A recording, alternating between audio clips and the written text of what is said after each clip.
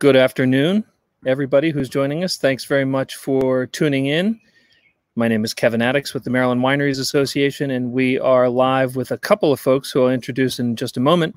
We're tasting through some dry reds today as part of our Stay Home and Wine Down series, where uh, if you were lucky enough to be one of the, the folks who ordered one of the wine packs, you have four of the six wines that we're trying today. It could be any four of the uh, of the six wines. We switched it up a little bit. That was the the uh, joy and benefit of of the mystery packs, is we got to be in charge of the mystery component. Uh, we have with us today a great uh, co-speaker, moderator, presenter here, and that is Dr. Joe Fiola from the University of Maryland. He is the viticulturist and small fruit specialist. Joe, welcome. Thank you. Pleasure to be here. Appreciate you including me on this. I'm really excited about the opportunity today. Joe, quick, tell us what you do at the University of Maryland, and and uh, aside from teaching and researching, you're actually in the vines and in the tanks. Uh, yeah, my um, major portion of my responsibility is to work with the commercial growers in the state. So I'm constantly helping them, doing site visits, uh, site evaluations, getting them nutrient management programs, uh, answering questions with any problems, troubleshooting things in the vineyard, whatever happens to be. And the second component is I do research and development. I uh, the majority of that is growing different varieties, grape varieties around the state, the different diverse regions we have, and seeing how they respond and uh, trying to be able to recommend to growers which are the best cultivars and varieties that do best for them to make the the grow the best in the vineyard and make the best wine in their winery. So I'm blessed with the best, you know, the best job in the world, next to yours, of course, Kevin. No, I think you got the best job in the world. Um, so we we've had some some questions over the years about you know this is this is Joe Fiola. He's our grape guy. He's grape guy. He's doing a lot of cool things in the vineyard. What's he doing making wine? Well, my my answer to that briefly is wine is my data. I'm a scientist, of course, and it's all about data and information. Uh, and you know, with you know, I'm also, as you said, a small fruit specialist, um, or as uh, more politically correct, a size challenge berry specialist uh, these days. Um, but I also do raspberry and strawberry work, and with those, the variety is very important because of the flavors you drink. that You taste the fruit directly, and the cultivars are very important there. With wine, it's different. Um, you're growing the grapes, but the you don't taste the grapes to evaluate them. You taste the wine, and that's what people are used to. So, when being able to taste the grapes, you can say, yeah, they do well in the vineyard. Grapes taste good, but really that doesn't give you the best inclination of what's going to happen when it makes into wine. So, when I grow the cultivars, I say how they do viticulturally, but I also make the wine and say this is the ultimate data that you know this variety in this region this is the wine you taste and that's ultimately the product that we're working with because it's a value added product with grapes so i try to cover that as much as possible and and a couple of times a year, Joe, you offer experimental wine tastings, um, not not experimental tastings, but tastings of experimental wines for winemakers and and anyone else who's interested to try some of the varieties that may not be more generally produced or available. And you've come up with some very cool varieties over the years that are turning out to be great in Maryland. Yeah, and that's the idea to say, you know, we like the traditional varieties, we know which do well, but we're always looking for great for varieties that are more sustainable, grow better, survive our winters better, you know, can use less uh, fungicides, you know, more disease resistance, and of course, yeah, make wines. And there's you know a lot of wineries who want to do specific types of uh, products in uh, different from different regions of the world and represent. So we try to do as merce, uh, you know, as diverse a variety of varieties that we can try from around the world, so we can have the the different pockets from different regions that people can uh, associate with. So, Joe, with that, I'm going to bring in our panel, and then we're going to get get tasting. But first, I want to have uh, have folks introduce themselves. Let me pull them up in no particular order. So, gentlemen, welcome. Uh, first, let's jump to Neil Basford from Elk Run. Neil. Hi, it's a pleasure to be here, Kevin. Uh, Fred Wilson and I founded Elk Run about 40 years ago, and we've been growing grapes, mostly the traditional varieties, uh, since then. And uh, Fred and I uh, are both aficionados of red wine, so we grow too many red varieties. The one we're going to be tasting today is Cabernet Franc, and we were one of the first, actually the second grower of Cabernet. in Maryland. And and it is true. You've you've grown some some amazing grapes over the years, and uh, everything from Cab Franc, which we're tasting today, to uh, there's even been Pinot, and uh, there, at least one year there was a Zinfandel in a bottle. We grew Zinfandel for about uh, six years or seven years, uh, and we only got a crop on it about every third year because it's very sensitive to moisture when the grapes are ripening, and it'll turn to it would turn to slime. So only in perfect years would we get any zin. We made some nice ones, but uh, we pulled out the two test rows we had about eight years ago now. We're also a grower of Gewürztraminer. I like it because I have six German, which I took in high school and college, and I can say the word. Uh, but that makes a lovely, uh, a lovely wine, and it's pretty hardy and grows pretty well in this area and and you grow that in a in a slightly off dry uh, or produce it in a slightly off dry style, and that it, that wine just sings in the glass. Yeah, we like it at about one percent residual sugar. That's enough to make it feel soft in the mouth, but not sweet.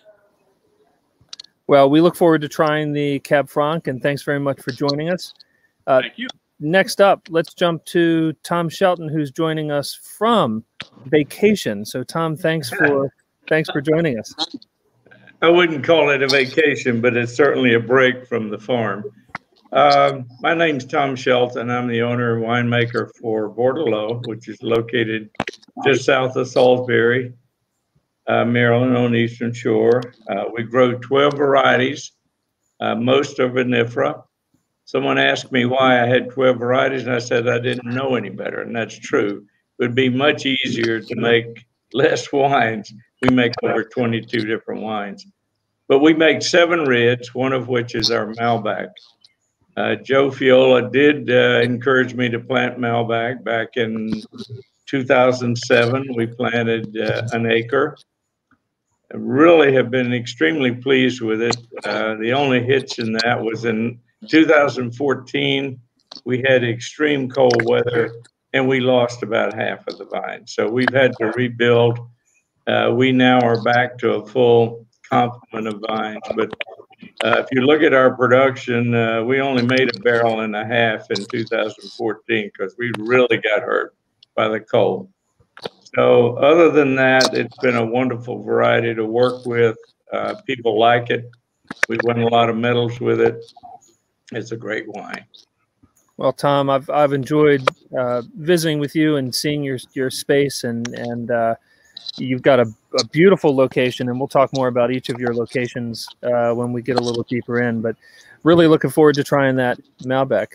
Um, Dick Seibert, Dick Seibert from Knob Hall, welcome. And thanks for having me here today. Um, Knob Hall has been in my family for 200 years. And when we inherited the farm from an aunt and uncle, I was like, what do you do with a farm? and we decided to start growing grapes. So in 2007, we planted our first uh, eight acres of grapes and uh, and have been uh, growing grapes and making wine ever since. Um, the wine we'll be tasting today is Prestige. Our first vintage of Prestige was in 2009. It uh, has done a lot of uh, good things for us over the years. We've won Best in Show. It's been uh, listed on the um, uh, Beverage Institute as uh, 92 points, exceptional wine, and a Best Buy. So it's done very well, and we look forward to uh, tasting it with all of you. Well, Dick, just just uh, one question. Um, what when you inherited that farm, what made you come to grapes? we were crazy. Yeah. no, we you know what do you do with a farm? And um, I literally had the I, I, literally had one of the experts in grains out here, one of uh, Joe's um, uh, colleagues, and said, uh, "What's the most profitable crop I can grow?" And they said soybeans. And I said, We're growing soybeans. I said, How much am I going to net in an acre? And they said, a really good year, $100. said, forget it. And my wife and I had been to Napa. We had been to France. We had always wanted to to start a winery, but what that made us do is decide to put more effort and more time in the winery and less in the crops.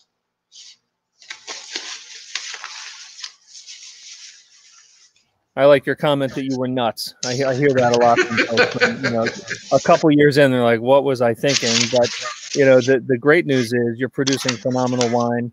Um, uh, you know, everybody on this uh, on this chat has has been uh, commended either by reviews or by uh, you know top level wine competition wins. So great work to everybody. Um, the newest member of this team, Enrique. Enrique from Casa Carmen. So, so tell us about your operation. Hi, everybody, and thanks for having me as well. Um, as Kevin said, my name is Enrique, and um, I am uh, the general director and uh, founder of Casa Carmen Winery. Um, we founded Casa Carmen about four years ago, three and a half, four years ago, with my brother Felipe. Uh, we are from um, South American family of Spanish heritage, and we grew up kind of obsessed with wine and food, and kind of uh, you know spent a bunch of time in, in in Argentina, in Spain, in California, where we started working with with um with the wine industry. And and then we, we came out here out east actually for for totally separate reasons. And then when we started discovering the the wine scene in Maryland, it was very exciting to us to to realize that we could actually um, make wine here, and that's where we bought um, with our with with the, with what we had managed to save in our um, you know we're you know 30 30 or 32 years of life. we we bought a small farm um, and and started started our our label initially kind of custom crushing and and uh, buying buying grapes uh, from from other local producers and uh, we've kind of uh, moved up um, little by little to the point where we have right now a very uh, stable kind of long-term partnerships with uh, different growers um, that that grow just great, great, great fruit, and that we we partner together with and work together through the growing season to get the best grapes possible for that year.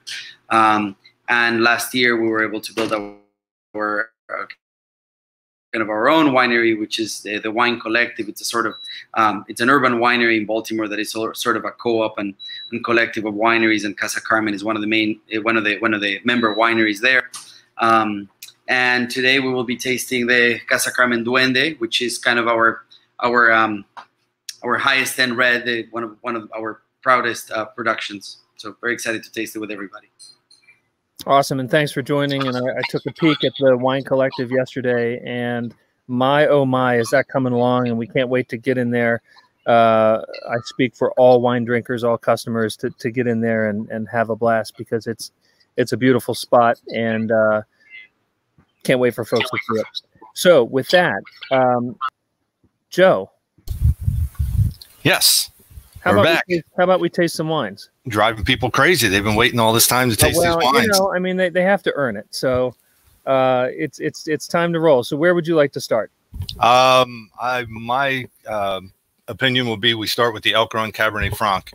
Um, I'm real excited about the cross section of wines we have today. This is a great opportunity to see what we're doing across Maryland with uh, dry red wines. We have multiple vintages so we can see how the wines how the, each individual the each year the wines are a little bit different plus also the ageability of these wines.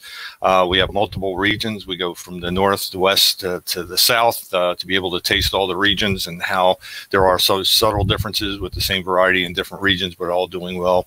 Uh, we have straight varietals that we can see what individual varieties do, and then of course we have the uh, the beauty of the complexity of the blends that we have, putting the, the best of all the varieties together to give us kind of a synergistic or a, blend to give something that's better than all the individual parts. So it's a great uh, group of wines that you chose here. And congrats to all the winemakers. Uh, they're all just showing beautifully. I hope uh, everyone is enjoying them so far. And and I will just as a programming note, we, we have one wine uh, that is unrepresented by the winemaking team, and that is the uh, Basignani Winery Piccolo, which we'll try uh, uh, I think second in the lineup. So first, let's jump to to Neil. Neil, there you are. Now you're off mute. Um, Joe, take it away. Too bad. Joe and Neil. Yeah. Uh, Well, I'm, I'm real excited about uh, this wine. Uh, as you know, Cabernet as was mentioned before. Elk Run has been leading the road with Cabernet Franc in, in the state for many years. Uh, I have been promoting this variety. I, overall, Cabernet Franc is the best grape for Maryland and the Mid Atlantic. Consistently makes it through our winters. It's good in the vineyard and makes consistently good wine. Uh, even in off vintages, it shows different complexities, but different different characteristics. And um, Elk Run's done a wonderful job throughout the years to do the best they can in the vineyard to, best, to get the best grapes. But when they have off vintages, it doesn't seem to matter. Their wine still comes through and show the quality of the grapes from that particular vintage, show the complexity. Some are lighter and more fruity, and some are big and complex. So uh, congratulations to them, and I'm looking forward to not only having a good vintage in 16, but also showing a little bit of age on this one and how it uh, develops more complexity. So go ahead, Neil. Well, thank you very much. As I say, uh, Fred and I have been growing Cabernet Franc- for quite a while. Uh, it was first planted in 1995 in our new vineyard, uh, and our first harvest was 97. And it turned out uh, that we liked it so much, we decided to bottle it as a sole varietal. Our original plan was just to have a little bit of it uh, and use it as a blender, but uh, it tasted so good, we decided to stick with it. This is the 2016. Uh, this was a little lighter year. Uh, came in at about uh, 21 Brix. Uh, pH was 3.1, and the total acidity was 0.63. All kind of you know mid-range for for this area. And uh, we have discovered over the years that uh, growing Cabernet Franc can be kind of a trick because it is it can be very sensitive to what we call the veggies, some of those uh, green olive leafy flavors that you can get in Cabernet Sauvignon and uh, Cabernet Franc. And what we've done is we found out uh, through traveling around and tasting every Cabernet Franc we could find that if you uh, leaf pull and expose the berries to sun, that helps reduce or eliminate the veggies. Uh, exactly why, I don't know, but it seems to work out. Yeah, there is there is science behind that. It shows as soon as you early as possible, you pull the leaves and you have less of that compound produced. Therefore, there's less there at wine you know, at the production at the time when you're harvesting. So yes, you're absolutely right with that one. So we start pulling leaves as early as possible. We've done our first uh, hedging, and we'll do our first leaf pulling next week. So, uh, and that's extremely important for Cab Franc and Cab Sauv, but they're related, so it makes a certain amount of sense. One of the things, the questions I want to ask you about this one is, um, I've always tell people to. Uh, originally, people were growing Cabernet Franc and not very happy with it, and I kept saying, "Stop trying to grow and make Cabernet Sauvignon out of Cabernet Franc." And you guys were one of the first ones that understood that that you can't grow it the same way as Cabernet Sauvignon, and you can't try to over extract it and make a big, you know, heavy duty wine out of it every year. And, and you've been hitting the mark, and this is a classic example of going with what the vintage and the fruit gives you.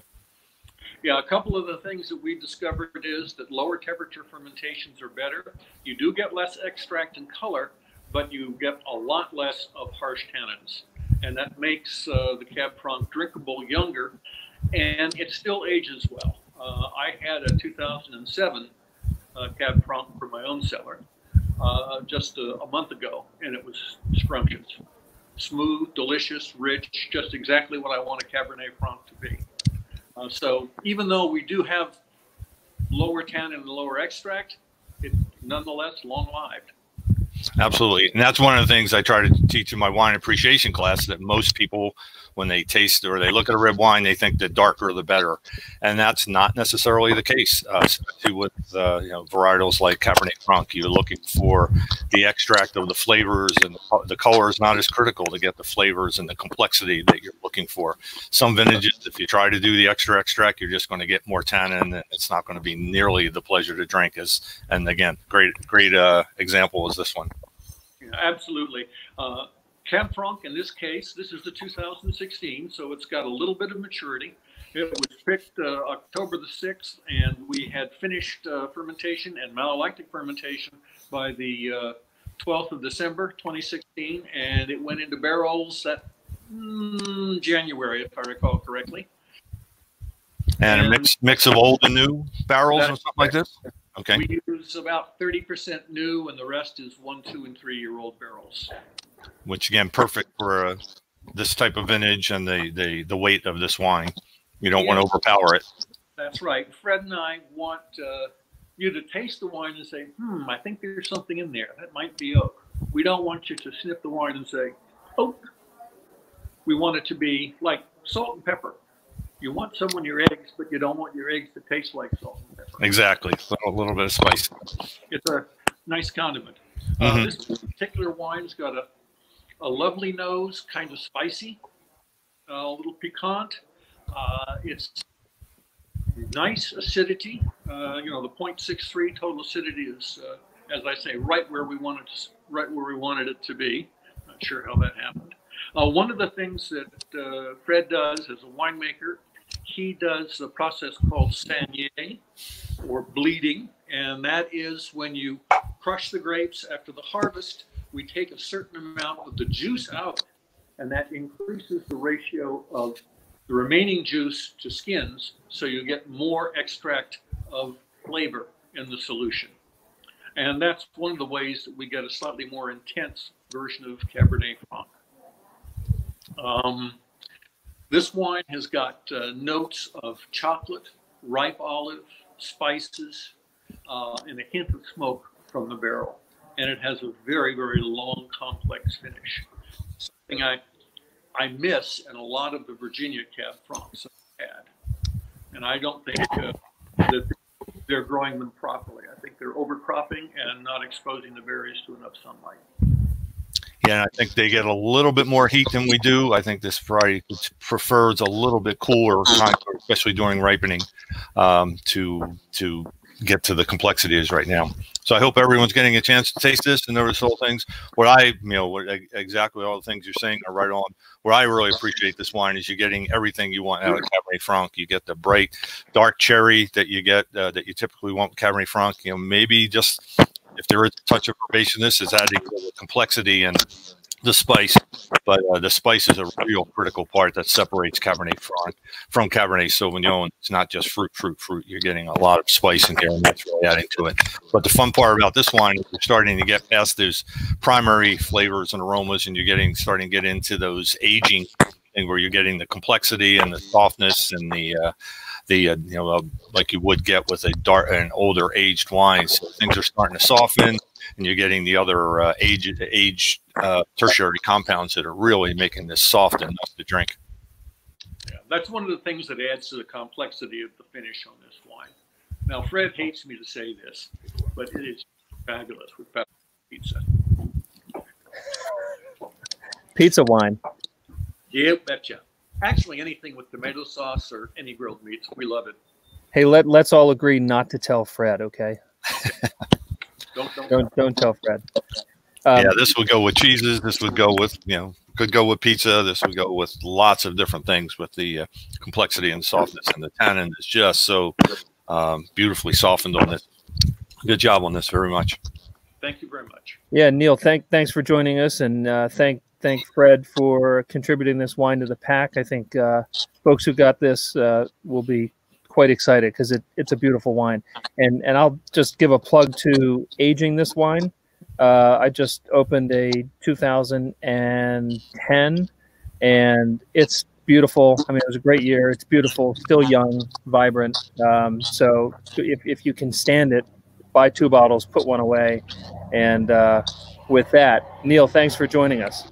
My pleasure. Yeah, and that nice acidity that Neil talked about will help this wine age uh, longer than most people would expect. So, yes, I agree. So, Joe, uh, up next, let's let's taste through uh, the Basignani Winery Piccolo. So I'll hold that up here just so folks can take a look at it. So this is, once I orient myself, this 2017. Uh, piccolo means small in Italian, and uh, this is made by Bert Basignani at Basignani Winery up in Sparks, which uh, if I started walking, I could get there in about 10 minutes over the hill. Um, uh, and it is a blend of mostly Cabernet Sauvignon and a little bit of Cabernet Franc. And uh, just looking at the notes, it's about 12.5% alcohol and uh, quite a nice wine. So, Joe, I'll let you take the lead on tasting it, but I've got some here.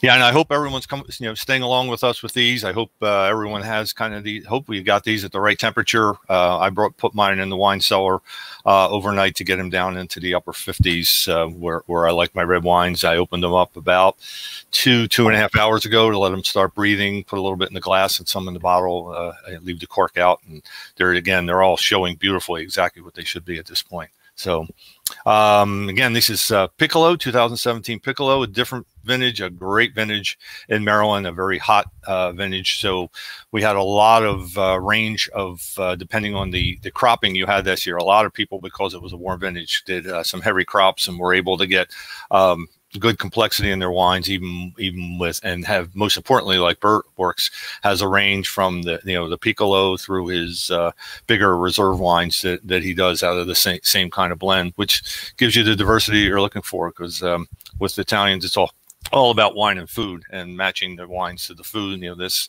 this uh, just very similar to the Cabernet Franc that we just had in weight matches a lot of uh, you know cheeses and uh, lighter um, lighter foods than you would with the uh, the other big red wines that we're going to be uh, moving into in a second. Um, what I like about this wine is again we got the the blend of both the the Cabernet Franc and the Cabernet Sauvignon. You get a little bit more guts, a little bit more backbone from the Cabernet Sauvignon, but you, he did not overpower the complexity of the the Cabernet Franc. You still get those subtleties coming through. A little more of the dark fruit, the uh, blackberry and currants that you get from the from the uh, the Cabernet Sauvignon in this one, but you still get that touch of herbaceousness and that, that nice spice from the Cabernet Franc, uh, and very very easy to overpower that uh, with both the blending in the Cabernet Sauvignon and uh, a little bit more oak. So I think he hit that right on the button with this. You get the bright cherries uh, into the darker fruit, and uh, starting to get a little bit of the, the tertiary compounds like we have with the Cabernet Franc, a little bit of the aging starting to show, softening on the palate, which is very important.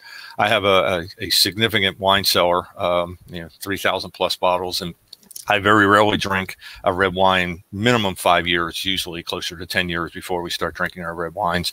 And these two wines show exactly why. Um, in their, if you know, we have tannin or alcohol or anything out of balance, a few years of aging will um, will definitely help to soften those and make them easier to drink and definitely better food matching. So highly recommend, as Kevin said, buying multiple bottles of these, drinking one and drinking another one in a couple years, see how it's going, and always have a few left to to take it to the point where you're getting it to the next level, and you can appreciate it a lot more. Uh, Bert's Winery is not is a very similar conditions to uh, what we just had in Elk Run. Again, good area for growing Cabernet Sauvignon and Cabernet Franc typically Cabernet Sauvignon can be uh, tannic and a little bit more harsh than this. But again, 2017 vintage, you're able to make a wine like Piccolo where you can put a little bit of Cabernet Sauvignon in with the Franc without overpowering it uh, and be able to, to make a, very enjoyable, very approachable wine like this. Uh, where you can get uh, Bert's Lorenzino is you know similar blend, but um, will last much longer and much bigger wines made with the with the same grapes. And you know uh, we were talking about uh, the Saignée, where you're bleeding some of the uh, free run juice away. That was probably done with this Cabernet also to uh, make, uh, and some of the Saignée may have been blended back in that to get the uh, the lighter lighter characteristics of these without the powerful. Yeah, powerful this is this is one of uh, one of the bargain wines in the state, truly. So you can get this for under twenty dollars, and uh, it's consistently a great wine, and uh, like you said, there are some tertiary flavors coming in. Getting some, you know, a little bit of leather, some leaves, um, you know, really nice wine, and uh, and I, I like it because it's walkable. I can yeah. uh, and we and we need wines like this in the state. It's a it's a challenge. You know, we, we want to drink wines Monday through Friday. We want to have wine with every meal, as far as I'm concerned. And hard to drink, you know, the thirty to forty dollar bottles of wine with with every meal. That's a little bit tough. Having most of the wineries are working on having available inexpensive wines that are very approachable at a certain age, and then still having reserve wines that um, you can put lay down for a few years and make it work. Love to hear any comments from anyone in the background what they're thinking of these. Yeah, so so Connie's asking what does walkable mean? It it, it means it's literally uh, ten minutes from my house, so I could walk there. So join me here, and we'll walk over there. And if we're lucky, their pizza oven is uh, is raring to go. So, um, and if it, real interesting, quickly, if you take a sip of the Basignani and then go back and take a quick sip of the Elk Run, you'll see the similarities, but the differences. The Elk Run again, you'll get all that complexity and the bright spiciness of the Cabernet Franc, but the Basignani has a little bit of that, but a little bit more of the the guts, the big the big uh, fruit and tannin from the uh, Cabernet Sauvignon. So good comparison there to be able to differentiate what each variety gives to you. All right, so with that, uh, I'm going to bring up our, our next panelist to taste, and I I think I gave him some warning. Dick Seibert from Knob Hall. I'll bring you in here, and then I'm going to drop off. Uh, Joe and Dick, have at it. Sure. We were just we were talking about the the importance of blending. Again, there there's nice varietals. Uh, the grapes, a lot of grapes in Maryland make varietals as just so with the uh, Cab Franc from Elk Run can be 100% and still be very good.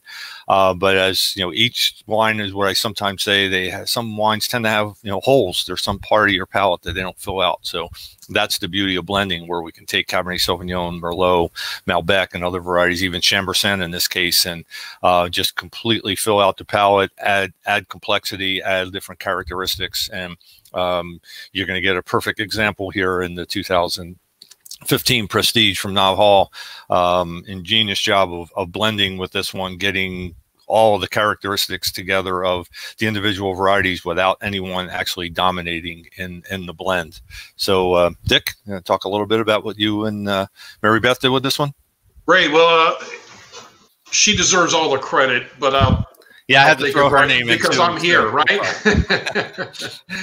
we uh, we limit uh, the amount of uh, tonnage we grow in our Cab Franc and particularly Chambourcin.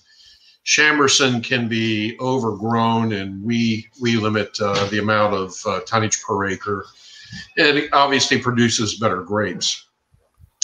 Um, the Cabernet Franc and the Chambourcin uh, are then uh, we do a Saignée on them often we'll do a uh, in the past we've done a cabernet uh, cabernet franc uh, rosé and we always do a chambourcin rosé.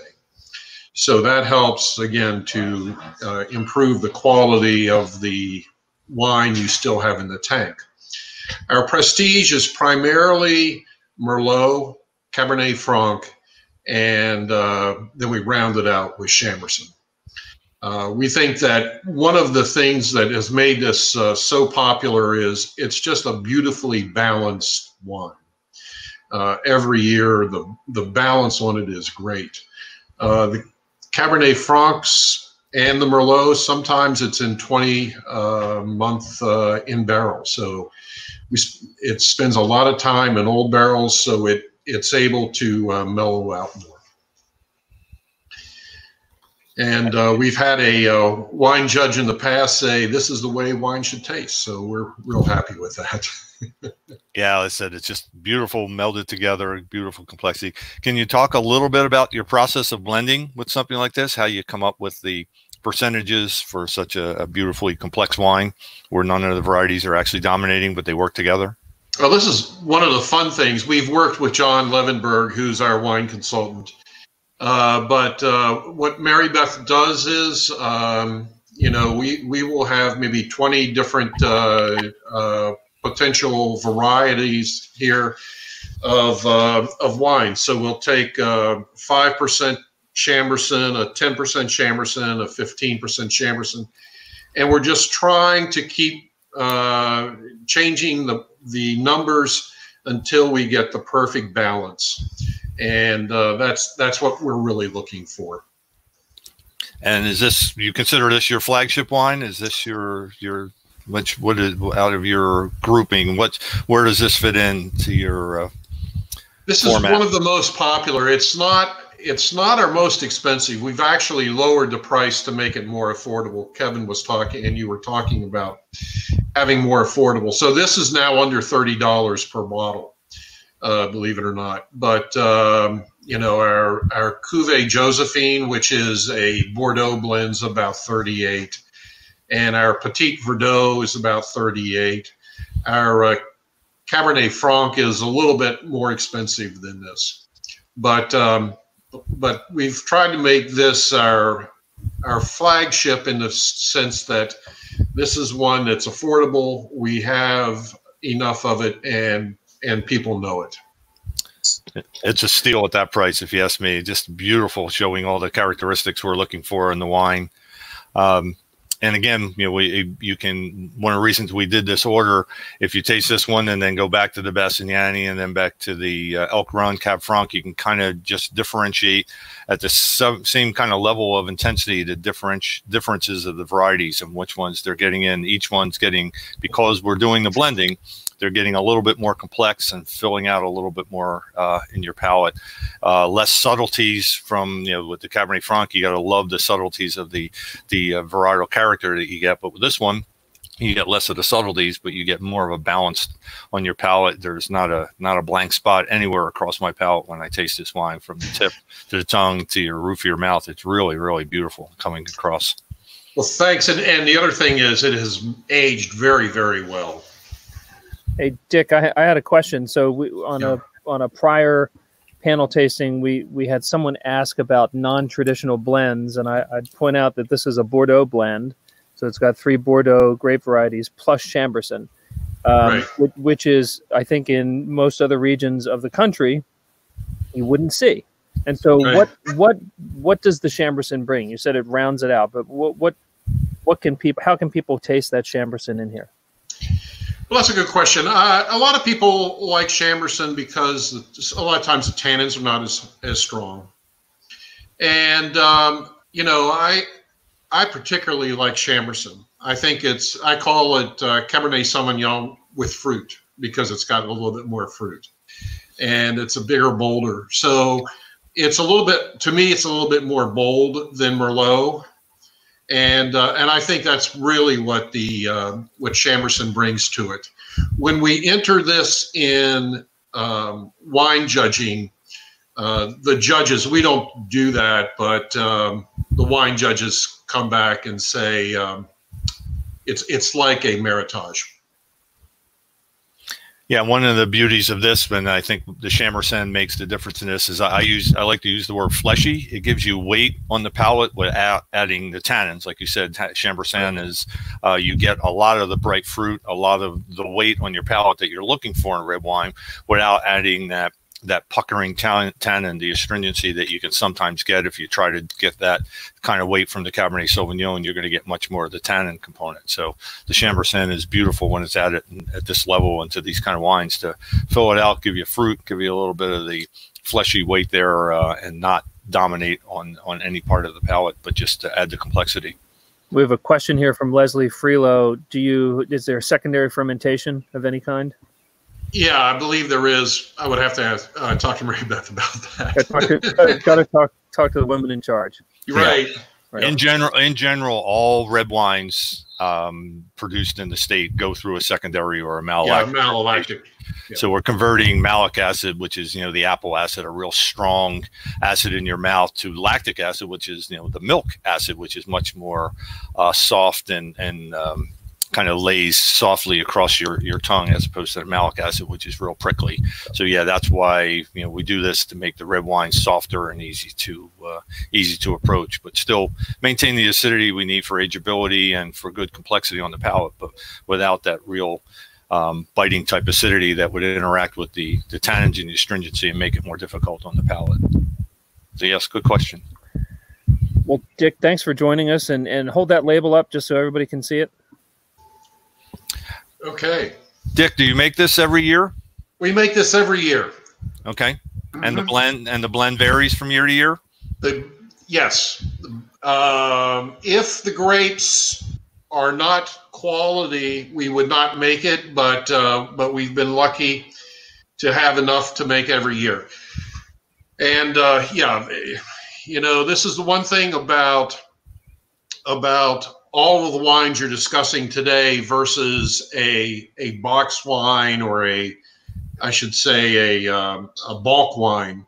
If you take if you go to the store and you buy a bulk wine, it's going to taste the same every year. These wines are going to be a little bit different every year. Why? Because grapes are different every year. So that's uh, you know that's one of the neat things about buying from all uh, from vineyards like uh, and wineries like you're discussing today because every year it's going to be a little bit different absolutely and that's that's the fun you, you just have to keep going back to the wineries every year to taste the new right. varieties and how they're yep. doing and understanding the vintage and what goes behind it and that helps you appreciate more knowing what wineries deal with on the east coast to make premium wines like this where we have many many a lot of variation from vintage to vintage and uh, a lot of maladies that come, you know, each year with the rains and the humidity we have to deal with. So it's very good job, Dick. We appreciate it. It's a struggle, but the reward is high. Dick, thanks for joining us. Thank you. All right, Joe, where do you want to head next? Uh, let's go to the Bordeleau. All right, Tom Shelton, you are yeah. up. I am out. Okay. Good. So uh, we're switching to a back to a varietal here, uh, Malbec, which is another one. If you're not familiar with it, this is another one of the uh, famous Bordeaux varieties. You have Cabernet Sauvignon, Cabernet Franc, and Merlot, which are the three main ones that we get in most of the Bordeaux's.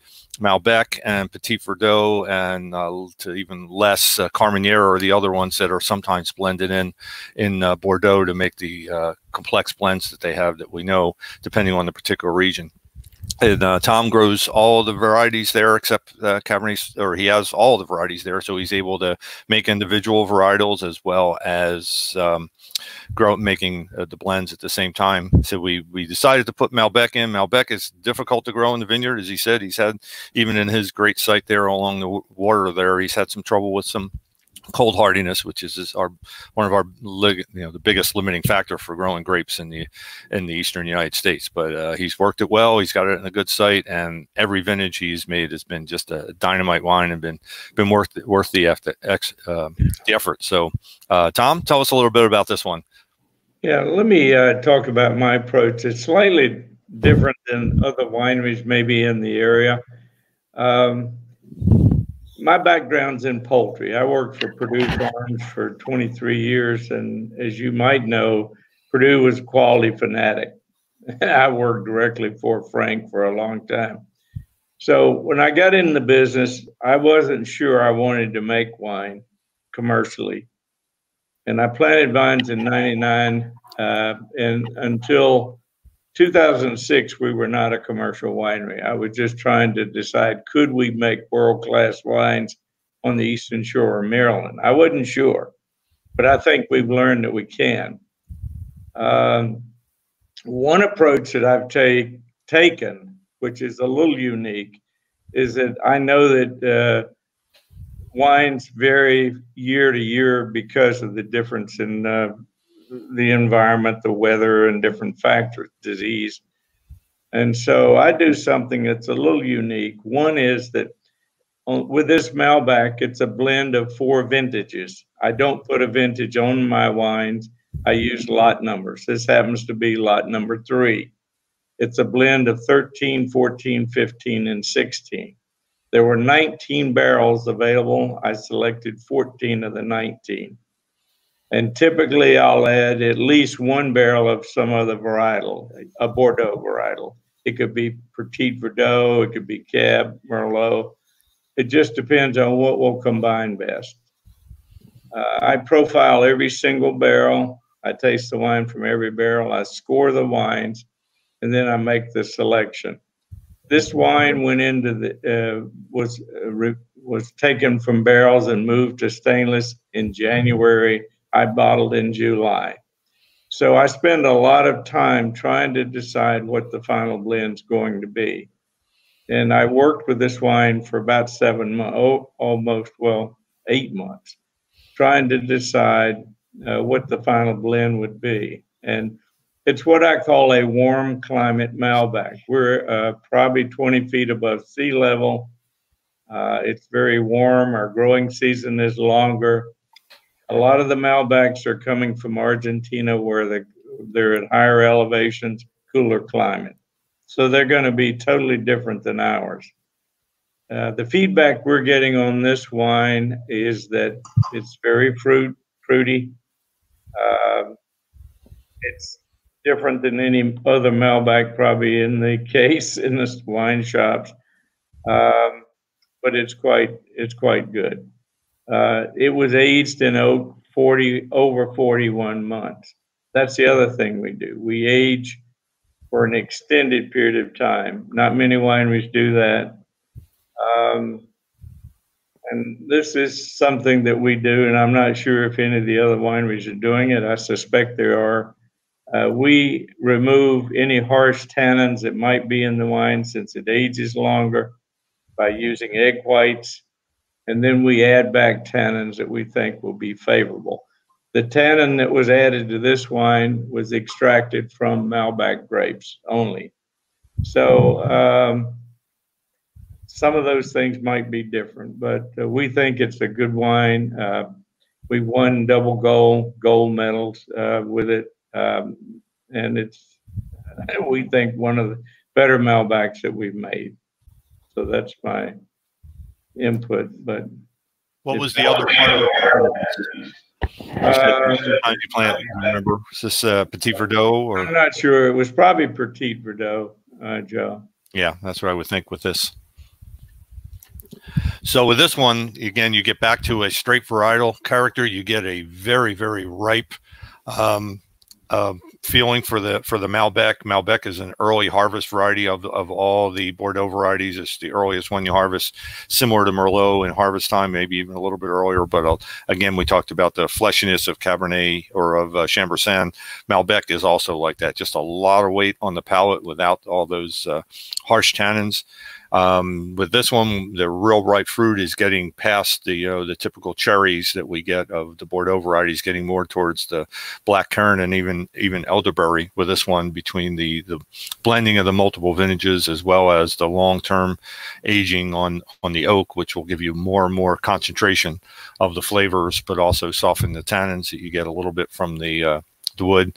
A lot of people say, "Oh, 41 months in oak, they uh, must tastes like there's wood chips floating in there. But with with oak, you tend to find the first six months to a year and a half, you get massive amounts of oak extraction, and, and you detect it in the wood.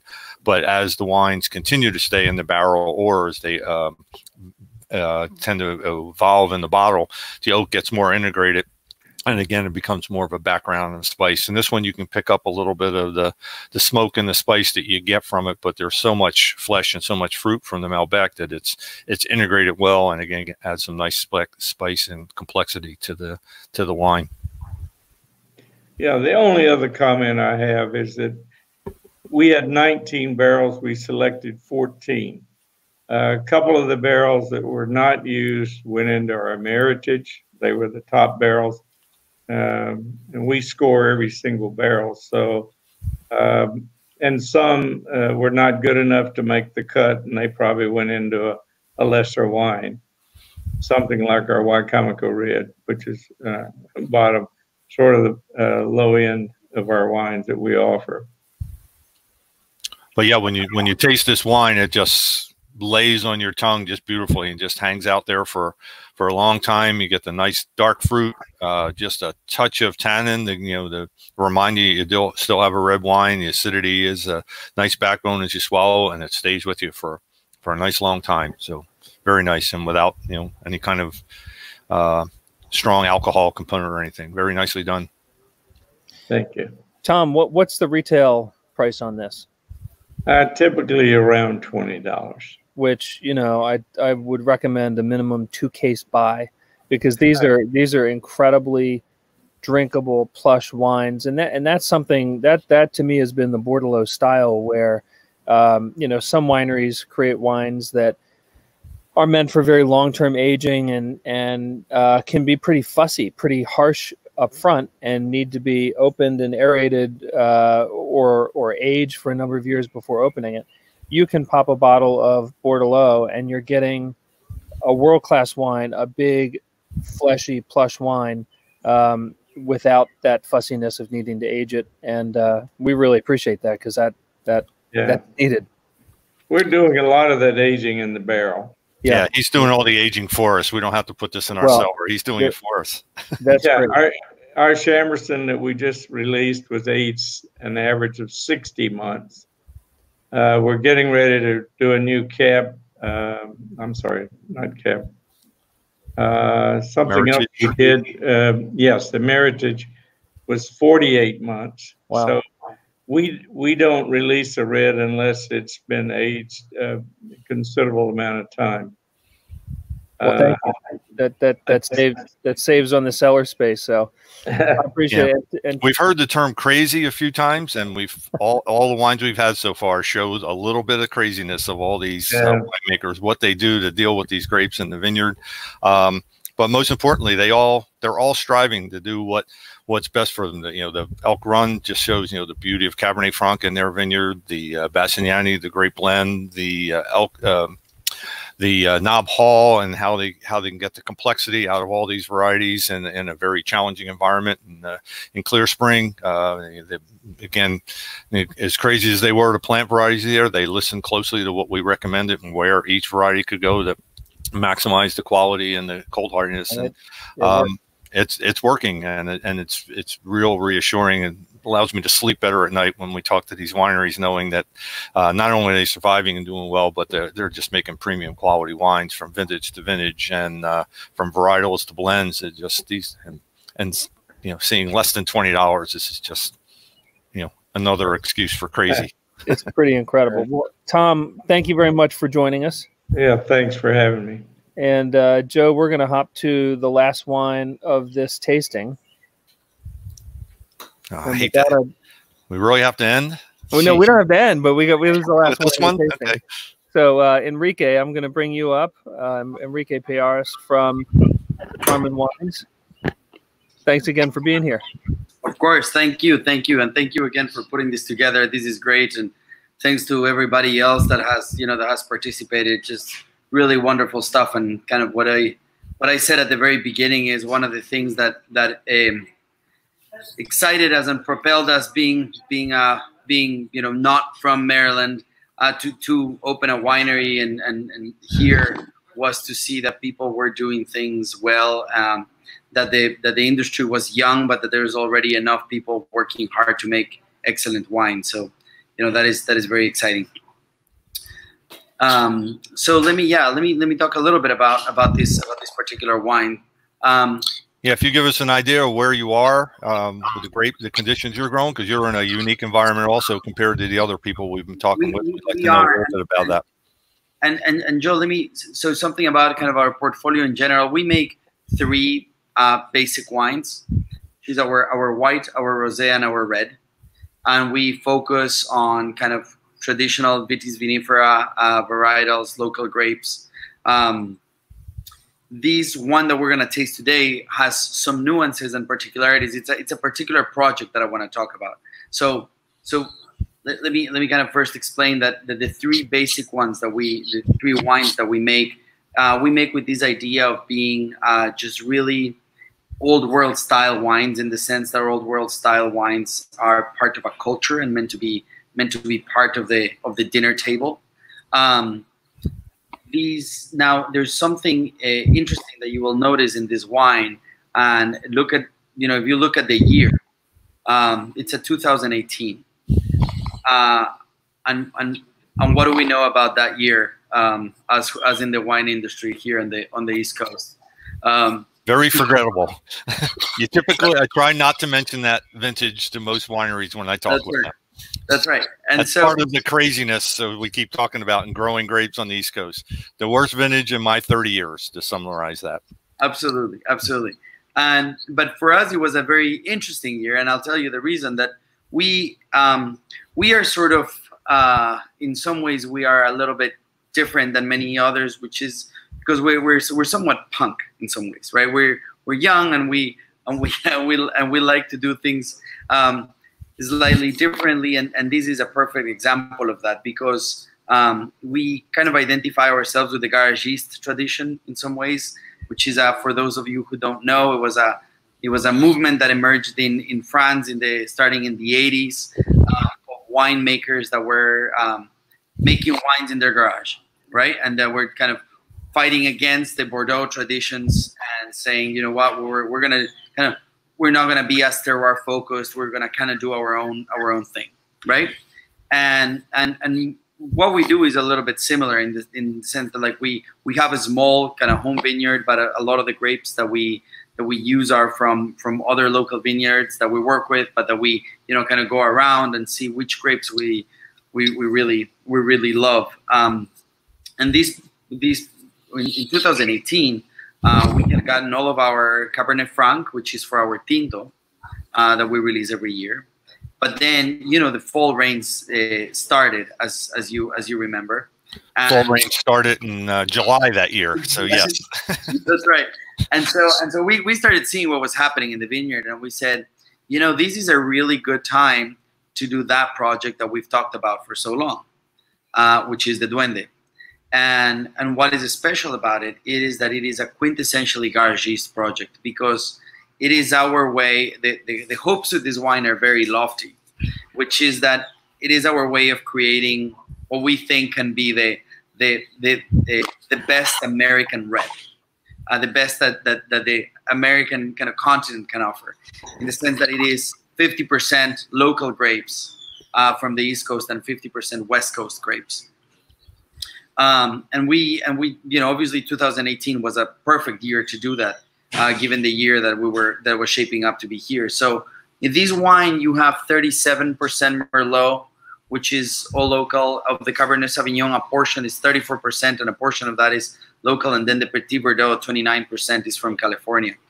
Um, but the important thing with it is that what we try to show with it is that is that the, the whole is more than the sum of its parts in some ways and that what we you know my brother and i spend a lot of time in california and what we didn't like about the wines over there is what we liked about the wines over here. And then and then, but then we missed a little bit of that as well and that's what we try to bring into this wine.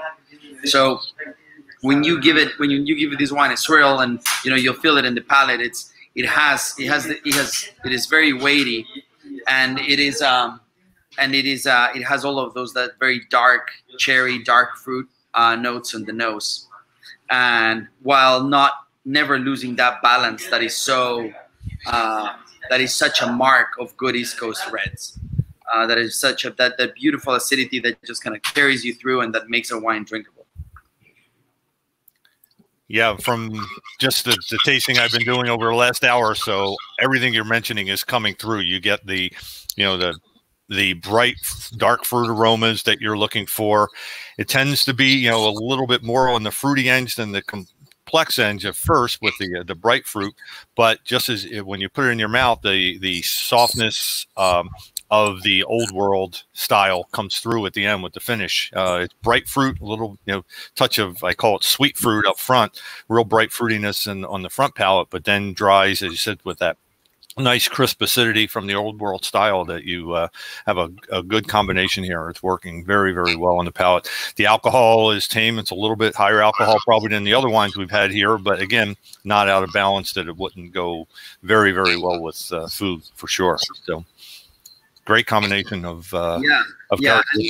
And we spend about 15 months in French oak. Um, about a 60 40 regime 60% new 40% um, i'm sorry 60% used 40% new um, oak and then we have about um, about about 50 cases of these still in oak that will stay there for another year or so can you talk a little bit about the blending since you had such a diverse group of grapes to work with, a diverse, uh, diverse group of yeah. wine? Yeah, yeah, yeah, absolutely. I mean, um, you know, the, the, the, Merlot and the Cabernet Sauvignon are um, were pretty e easy because those were the the kind of the wines, the, the, the grapes that we use every year from from uh, the from a particular local vineyard that we work with. Um, and and so those were kind of a no-brainer that they were going to be there as kind of the the, the, the backbone and that East Coast characteristic.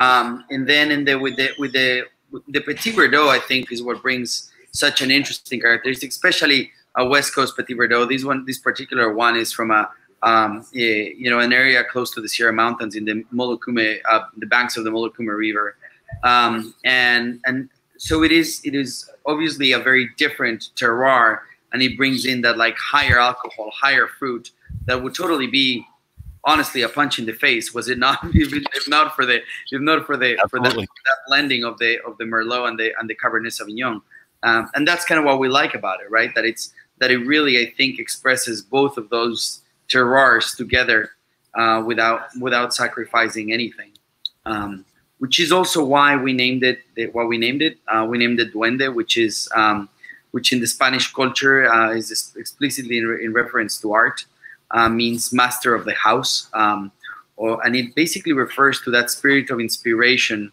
in the artist that uh, that directs his, his dwelling place towards creating something something remarkable. Um, and and this wine has has more focus on the on the craft itself uh, than on the vineyard, perhaps, and that's why it seemed to us uh, perfect to to to name it after after um, after this spirit of artistic inspiration. Yeah, and especially in a vintage like 18 that was such, such a challenge for, for Eastern viticulturists to be able to uh, find the white wine, the right wines from the other areas of the country that would blend well with this without dominating it, but still keep the characteristics you're looking for. And it's a very, a very appropriate name. It was. I, I love reading the background of this on on the website. Most everyone needs to go back and read about this and see the after tasting it and hearing the story. It's a very appropriate name for it. I, I appreciate that. Yeah, thank you. Thank you. Thank you so much. Another interesting thing is again we've been going trying to get to go back and forth to appreciate the varietal character. We went from the Knob Hall back to the Basignani, back to the Elk Run to differentiate. It'll be fun to go back and forth with this one and the um. The Bordeleau is again 100% East Coast, but it's still because of the the ripeness and the and the number of years in oak. You get that real fleshy, dark um, ripe fruit that's you know more New World style there with the bright fruit. So to be able to compare these back and forth, it's again a real nice comparison of the complexities that we can get and just the intensities of individual varietals, varietals or the what the blend can bring to filling out the palate. With that, Enrique, I wanted to thank you for joining and for contributing this wine to the wine pack. Thank you. Uh, yeah, it's so cool. And and and seriously, best of luck to you and John and the rest of the team getting that winery open to the public. I know you've been making wine uh, for the last couple of months and uh, had quite the harrowing experience building out that winery with days to go until the grapes came in, and and you managed to do it. So. Um, well, opening opening is uh, July 10th. We'll definitely be open after that. Wonderful. So um, come come see us, come see us, any, and bring a mask and, and bring a mask. Yes, certainly, certainly, certainly. Um, so again, thanks, thanks for joining us. And uh, Joe, um, give us a, a review. What'd you think of the wines we tried?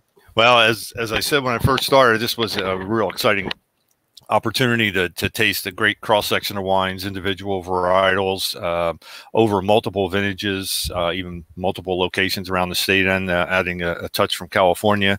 The blends, the single varietals, the multiple vintages. It's a lot of things going on, and it just shows again how well we've gone how well we've grown in Maryland and making red wines. Red wines are a huge challenge, uh, growing them in the vineyard and then making soft, complex wines that are approachable and uh, approachable young. The great proportion of wines that we that we make in the state are drunk within the first year or two.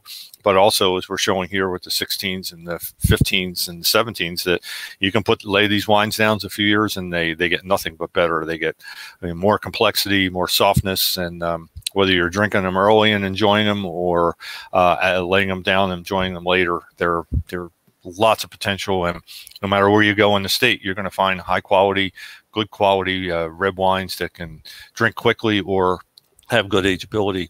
Whether you like blends or whether you like uh, the individual varieties, you're going to find what you like uh, in many, many places in Maryland. And again, they um, a strong, strong uh, kudos for all the wineries here that we've had today and all the ones around the state because it's uh, to make quality wines like this year in and year out in Maryland is a is a is a huge challenge.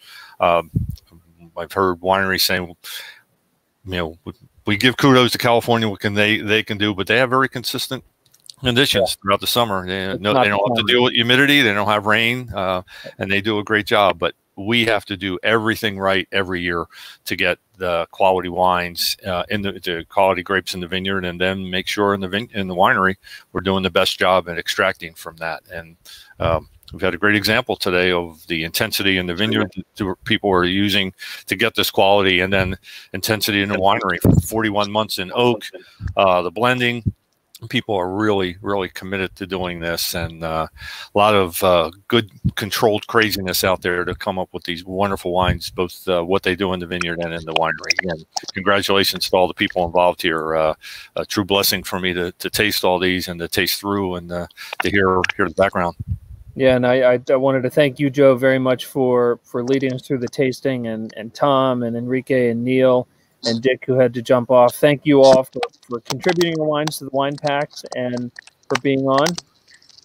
Kevin, can you give us a quick update? What's happening in the industry as far as opening up and what uh, you know ideas for go, going to wineries and tastings, potential Sure, sure. Yeah, many many wineries are are back open and uh, are serving outdoors while the weather's great and indoors at a limited capacity. But in general, the wineries are open outdoors still. Um, we, with regards to events, we're still waiting to see how late summer and fall will play out uh, with outdoor events and what they're going to look like if and when we have them. So stay tuned to MarylandWine.com to uh, to get latest details on that. And uh, we've got a great comment there from Connie. Thank you, Connie. And see, you earned it, right?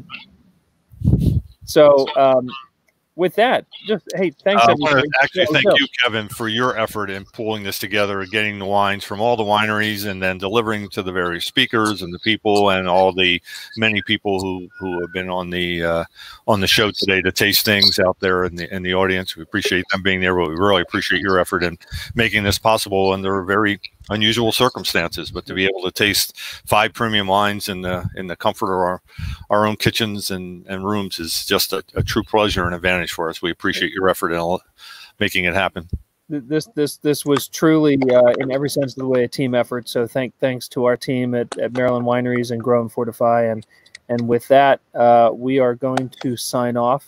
And thanks all to the panelists and Joe. Thank, thank you very much. Everyone, stay safe out there every, everyone needs to stay safe and grab a nice bottle of Maryland wine. And I will simply close out by saying thanks everybody for joining. And you can uh, always learn more about what's going on with Maryland wine at marylandwine.com. And we've got a couple more of these tastings. We've got rosé and sweet wine and dry red and weird and wild, uh, which is definitely worth tuning into. So with that, uh, thank you everybody for joining. And Skip, thank you for hanging on there with us. And Abby, thank you for helping to arrange all of this. And John, thank you very much. And with that, cheers, everybody.